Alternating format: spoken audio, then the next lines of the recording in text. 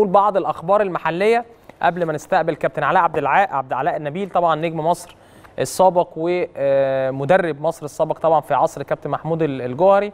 خلينا نشوف بعض الأخبار كده وزي ما قلت لكم معايا انفراد مهم جدا هقول لكم هو إيه بس عقبال ما يجهز الحاجة اللي إحنا عايزين نعملها.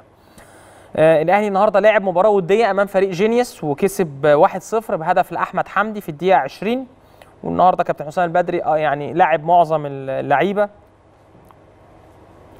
آه عماد متعب لعب وحسام غالي لعب وكله يعني مميز. صالح جمعة وفي بعض التعديلات أو تغييرات نزلت في الشوط الثاني مروان محسن وصابر رحيل وميدو جابر ومسعد عوض.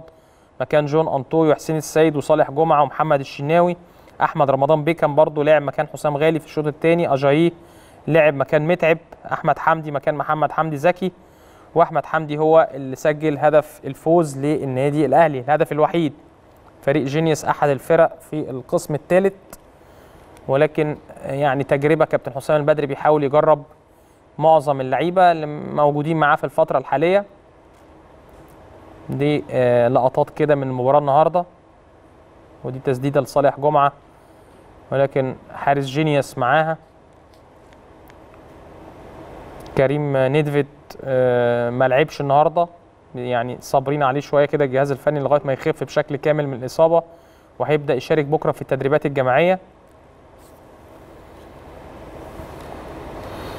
كان في كلام كده جوه الاهلي ان هم عايزين يخفضوا عقود اللعيبه الاجانب بسبب ازمه الدولار ولكن اداره النادي الاهلي رفضت وقالت كل واحد هياخد حقه زي ما إحنا متفقين وكل واحد هياخد عقده من اللعيبه الاجانب.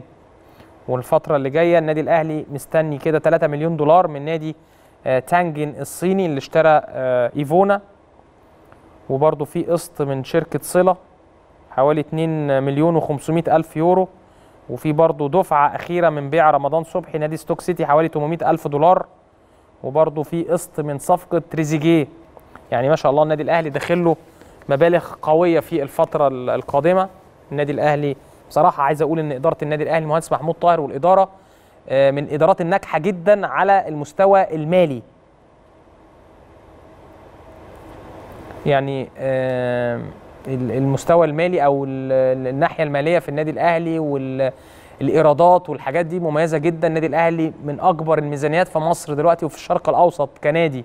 فعاملين شغل كويس جدا. المهندس محمود طاهر في الإيرادات والشركة الرعاية واللعيبة اللي اتباعت اتباعت بأسعار قوية جدا. يعني شفنا إيفونا اتباع بمبلغ كبير جدا حوالي 8 مليون دولار للفريق الصيني.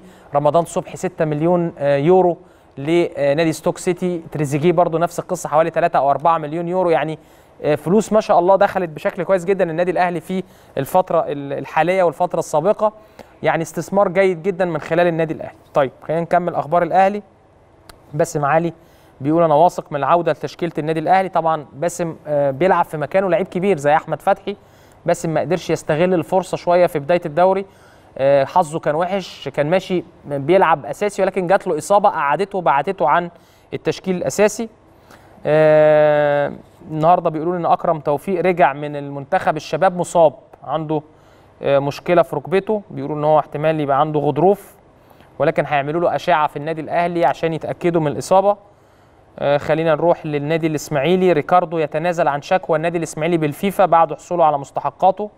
كان ليه مستحقات في النادي الإسماعيلي. وبرضه هنا عايز أشكر المهندس إبراهيم عثمان رئيس النادي الإسماعيلي إن هو من ساعة ما جه النادي الإسماعيلي بصراحة حل مشاكل مالية كبيرة جدا. النادي الإسماعيلي كان عليه ديون متلتلة. عارفين يعني ديون متلتلة فعلا بمعنى بمعنى الكلمة. لعيبة كان عليها فلوس أو ليها فلوس من النادي الإسماعيلي مدربين سابقين أجانب ومصريين. مش عارف الضرايب الكهرباء كان يعني حاجات كتير جدا كانت ديون على يعني النادي الإسماعيلي. ولكن من ساعة ما جه المهندس إبراهيم عثمان رئيس النادي بيحاول يخلص الحاجات دي كلها. بيحاول يدي مستحقات اللعيبة اللي فاتوا ومعظم اللعيبة خلاص خدت مستحقات وتنازلوا عن شكواهم. المدربين الأجانب الجهات الحكومية اللي عليها فلوس للنادي الإسماعيلي. حاجات كتير جدا. فحتى ده كان يعني تقرير كده مع ريكاردو بعد إنهاء أزمة مستحقاته. الراجل سعيد جدا إن هو حصل على مستحقاته وتنازل عن شكوته للنادي الإسماعيلي. شريف عبد الفضيل بيقول يعني ما حدش هيجبرني على الاعتزال. شريف طبعا لعيب كويس ومميز لكن حظه وحش في الإصابات السنتين اللي فاتوا. المنتخب العسكري النهارده لعب مباراة ودية أمام الإسماعيلي وكسب آه 2-0 المنتخب العسكري كسب 2-0 عن طريق عمرو مرعي وعمرو جمال. رحنا سجلنا المباراة النهارده. ما بين المنتخب العسكري والإسماعيلي. وزي ما قلت لكم كده المنتخب العسكري كسب 2-0 عمرو جمال مهاجم الأهلي سجل الهدف الأول وعمرو مرعي مهاجم امبي سجل الهدف الثاني المباراة كانت على ملعب أحد الفنادق الشهيرة في مدينة إسماعيلية والإسماعيلي هيلعب مباراة ودية أخرى أمام منتخب السويس بعد بكرة. نادي الإسماعيلي طبعا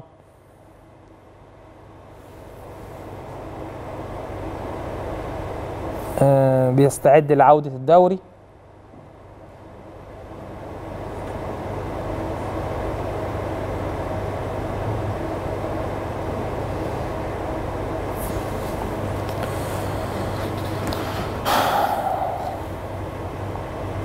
أحمد عيد عبد الملك هو هيكون آه، كابتن منتخب مصر العسكري في كأس العالم اللي جاي.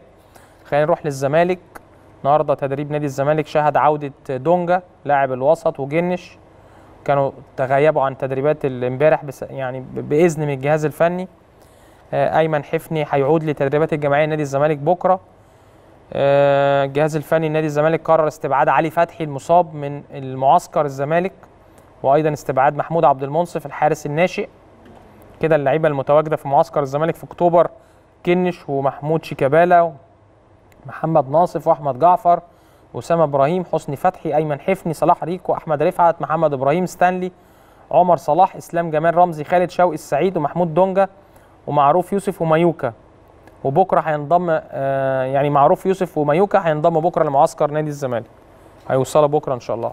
الجهاز الفني نادي الزمالك يؤكد لمحمد مجدي عدم رحيله اللي هو اللعيب المساك اللي كان جاي من النادي المصري. كان متخوف شوية إن هو بعيد عن الماتشات وكان في كلام بيتقال إن نادي الزمالك ممكن يعيره لأحد الأندية في شهر يناير ولكن جهاز الزمالك أكد له قال له يا محمد أنت معانا ما تقلقش. لكن طبعا هتكون فرصته في المشاركة صعبة جدا. من دلوقتي بيلعب علي جبر وبيلعب محمود حمدي وفي أحمد ديودار وفي شوقي السعيد. فأنا شايف إن فرصته صعبة في اللعب. باسم مرسي بيرحب بالتجديد للزمالك. آه، بس أنا هقول لكم حاجة باسم مش هيجدد الفترة دي باسم هيستنى شوية لغاية يلعب لغاية ما يلعب مع المنتخب في أمم أفريقيا. إن هو يعني مستني عرض احتراف جاي له حاجات من ألمانيا ومن فرنسا ومن سويسرا. فلو جدد مع الزمالك دلوقتي حي... لما لو جاله عرض يبقى الزمالك هو المتحكم في آه، بيعه. فأعتقد يعني عندي معلومة كده إن باسم مرسي هيأجل شوية التجديد لنادي الزمالك لغاية شهر يناير. ميدو طبعا تولى خلاص تدريب تدريب آه، دجلة ويعني في كلام كده إن هو عايز يجيب شيكابالا معاه في وادي دجلة الموسم القادم أو في شهر يناير وبرضه في كلام على عماد متعب. يعني دي بعض الأخبار ال- المحلية. عمر جابر جاب تيشيرت لشيكابالا كده هدية من بازل قبل مباراة مصر وغانا. الزمالك بكرة ألغى تدريبات الناشئين في, في نادي الزمالك تخوفا من 11 11 لكن إن شاء الله مش هيحصل حاجة. وكل الأمور تمام ويعني أعتقد إن الأمور السياسية في مصر مستقرة في الفترة الحالية.